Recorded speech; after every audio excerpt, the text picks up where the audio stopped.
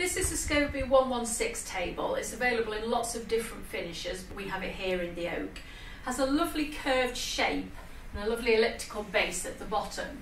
Now it's inside the base that the extension leaves are stored, so it has a synchronised opening, so you just have to pull one end and the table opens up, and then inside you've got these pop-up butterfly leaves in the middle, and then push the table back in, and you've got a beautifully extended table. Now within this range there are a number of different sideboards that Skovby do, like the one we have over here, which work with the table too. So have a look online at miastanza.co.uk.